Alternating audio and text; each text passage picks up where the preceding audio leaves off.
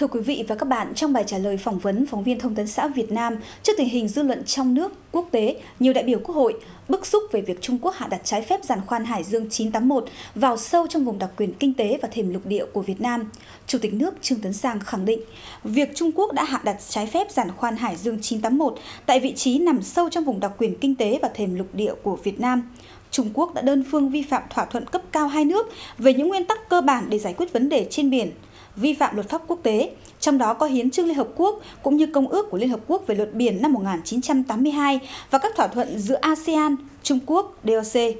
Chủ tịch nước khẳng định Đảng, Nhà nước và nhân dân Việt Nam luôn quý trọng và làm hết sức mình để tăng cường tình hữu nghị giữa nhân dân hai nước Việt Nam, Trung Quốc, giữ gìn hòa bình, ổn định để phát triển đất nước. Bởi nhân dân Việt Nam từng trải qua hàng chục năm bị chiến tranh xâm lược tàn phá và hủy diệt, đồng thời yêu cầu phía Trung Quốc cũng phải làm như vậy. Chủ tịch nước nhấn mạnh, Việt Nam có đầy đủ bằng chứng lịch sử và pháp lý về chủ quyền đối với hai quần đảo Hoàng Sa, Trường Sa và vùng đặc quyền kinh tế, thềm lục địa của Việt Nam, phù hợp với luật pháp quốc tế. Chúng ta kiên quyết không để một tấc đất, tấc biển nào của Tổ quốc bị xâm phạm. Đối với bất cứ người Việt Nam nào, chủ quyền lãnh thổ quốc gia là thiêng liêng và bất khả xâm phạm. Trả lời câu hỏi hiện nay nhân dân rất quan tâm, Đảng và Nhà nước đã và đang có những chủ trương, giải pháp gì trước việc giàn khoan Hải Dương 981 của Trung Quốc vẫn ngang nhiên hoạt động trái phép trong vùng đặc quyền kinh tế và thềm lục địa của Việt Nam. Chủ tịch nước cho biết, Đảng và Nhà nước ta đang thực hiện các chủ trương và giải pháp đáp ứng nguyện vọng chính đáng, tha thiết của hơn 90 triệu đồng bào ta. Chủ tịch nước nhắc lại lời của vua Lê Thánh Tông từng nói với triều thần đã được ghi rõ trong Đại Việt Sử Ký Toàn Thư một thước núi, một tấc sông của ta, lẽ nào lại nên vứt bỏ? Người phải kiên quyết tranh biện, chớ cho họ lấn dần. Nếu họ không nghe, còn có thể sai sứ sang phương Bắc, trình bày rõ điều ngay, lẽ gian. Nếu người dám đem một thước núi, một tấc đất của Thái Tổ làm mồi cho giặc, thì tội phải chu di. Sáng nay, hội thảo quốc tế với chủ đề Hoàng Sa, Trường Sa, sự thật lịch sử đã diễn ra tại Đà Nẵng với gần 100 đại biểu là các học giả, nhà nghiên cứu quốc tế đến từ Mỹ, Pháp, Đức, Ấn Độ và các học giả trong nước. Hội thảo tiếp tục làm sáng tỏ chủ quyền lịch sử và pháp lý của Việt Nam đối với Hoàng Sa và Trường Sa. Đường lưỡi bò đây là một bước leo thang lớn các học giả tham dự hội thảo sẽ làm rõ bốn nội dung quan trọng là các bằng chứng lịch sử pháp lý về chủ quyền hai quần đảo Hoàng Sa và Trường Sa, giải quyết tranh chấp Hoàng Sa Trường Sa theo luật pháp quốc tế, khía cạnh chính trị quân sự trong tranh chấp ở Biển Đông và cuối cùng là hướng tới một khu vực hòa bình và an ninh. Các học giả, nhà nghiên cứu quốc tế cũng sẽ đánh giá về sự kiện Trung Quốc chiếm Hoàng Sa của Việt Nam vào ngày 19 tháng 1 năm 1974 và chiếm đảo Gạc Ma, Trường Sa của Việt Nam vào ngày 14 tháng 3 năm 1988. Cũng trong khuôn khổ hội thảo, các đại biểu sẽ cùng tham dự tọa đàm về sự kiện Trung Quốc hạ đặt trái phép giàn khoan Hải Dương 981 trong vùng đặc quyền kinh tế và thềm lục địa của Việt Nam và tham dự triển lãm Hoàng Sa Trường Sa, phần lãnh thổ không thể tách rời của Việt Nam, để chứng kiến những tư liệu hiện vật và bằng chứng lịch sử và pháp lý không thể chối cãi về chủ quyền của Việt Nam đối với Hoàng Sa và Trường Sa lần đầu tiên được công bố.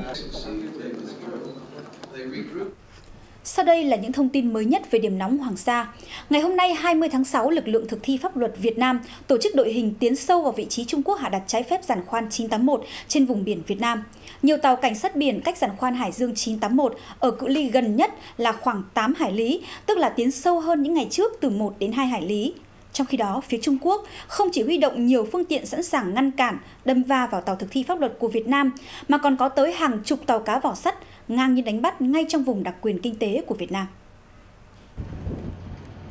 Lúc 8 giờ sáng nay, lực lượng cảnh sát biển phát hiện ra một máy bay trực thăng mang số hiệu 9237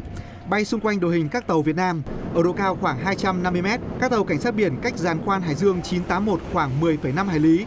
Phía Trung Quốc tổ chức đội hình gồm có 6 tàu để ngăn cản. Tàu Trung Quốc mang số hiệu 3210 tăng tốc tiếp cận sát tàu cảnh sát biển khoảng 50 mét Các tàu Trung Quốc luôn sử dụng tốc độ cao, loa công suất lớn để ngăn cản các hoạt động thực thi pháp luật của các tàu Việt Nam. Trên hành trình đi từ khu vực giàn khoan 981 đến đất liền,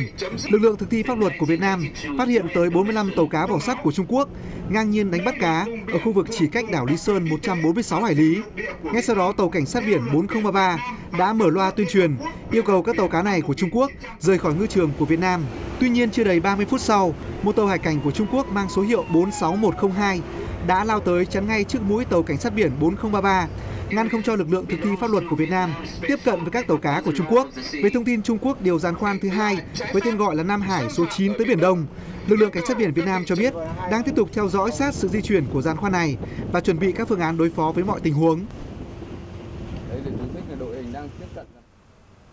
Có mặt trên tàu cảnh sát biển 2013 trong những ngày qua, hơn ai hết, những phóng viên đang tác nghiệp tại khu vực Trung Quốc hạ đặt trái phép giàn khoan Hải Dương 981 cảm nhận sâu sắc những đóng góp, hy sinh của các cán bộ, chiến sĩ đang thực thi nhiệm vụ bảo vệ chủ quyền thiêng liêng của Tổ quốc. Nhiều người trong số họ đã tự nguyện gác lại chuyện riêng tư, gia đình, sẵn sàng trả phép sớm để trở về đơn vị cùng đồng đội thực hiện trách nhiệm đối với đồng bào, với Tổ quốc. Nhẫn một chút, sóng yên, gió lặng. Lùi một bước, biển rộng, trời cao. Những câu thơ chứa đựng tất cả những tâm tư mà người vợ nơi phương xa luôn dành cho thiếu úy Nguyễn Quang Cường.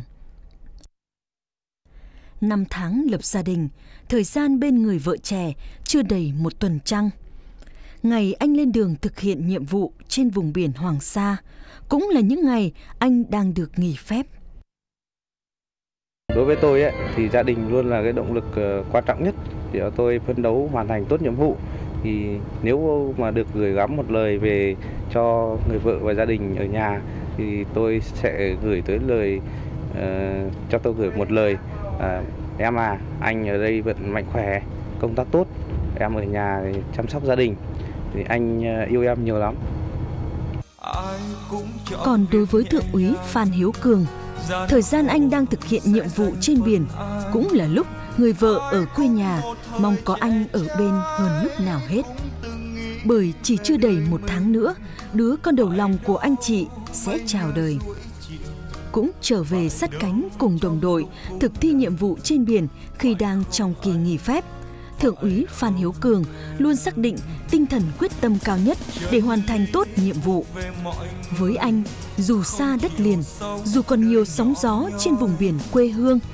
nhưng hình ảnh gia đình, người vợ thân yêu và cả cô con gái mà anh dự định sẽ đặt tên là Hải khi bé ra đời sẽ luôn là động lực để anh vượt qua tất cả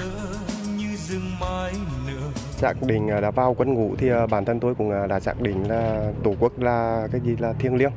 Thì là trong tôi thì đang chảy dòng máu của người Việt Nam. Do đó là tôi được xác định nhiệm vụ này là nhiệm vụ là tiến hệ và quan trọng hơn tất cả. Còn bản thân tôi thì vợ cũng là sắp sinh con đứa con đầu lòng. Thì đang thực hiện nhiệm vụ đến nay thì không có gì hơn cả. Thì cũng muốn gửi gắm về đất liền, là mong làm sao cho lúc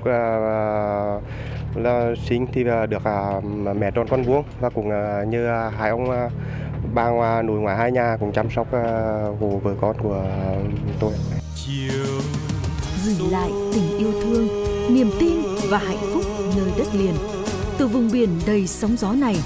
các cán bộ, chiến sĩ đang thực thi pháp luật trên biển của chúng ta vẫn luôn sắt cánh bên nhau, vững vàng ý chí quyết tâm, kiên trì bám trụ kiên quyết bảo vệ chủ quyền của đất nước.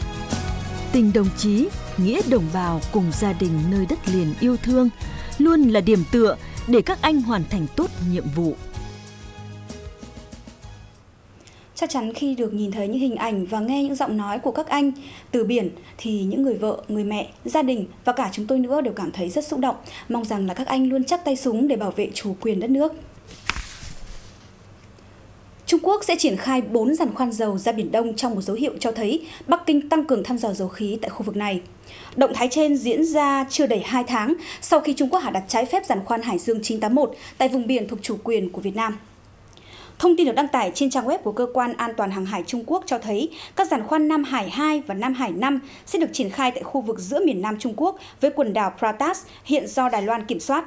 Trong khi đó, giàn khoan Nam Hải 4 sẽ được thả gần bờ biển của Trung Quốc. Cơ quan trên khẳng định cả ba giàn khoan này sẽ được triển khai trước ngày 12 tháng 8 tới. Hồi đầu tuần, Cơ quan An toàn Hàng hải Trung Quốc đã ra thông báo về giàn khoan thứ tư là Nam Hải 9. Thiết bị này đã được đặt sẽ được đặt ở ngay bên ngoài vùng đặc quyền kinh tế của Việt Nam trong ngày hôm nay. Tuy các giàn khoan này được triển khai trong vùng biển Trung Quốc, song đây đều là các giàn khoan có thể di chuyển, nên việc Trung Quốc triển khai thêm giàn khoan có thể là dấu hiệu không mấy tích cực cho tình hình sắp tới trên Biển Đông.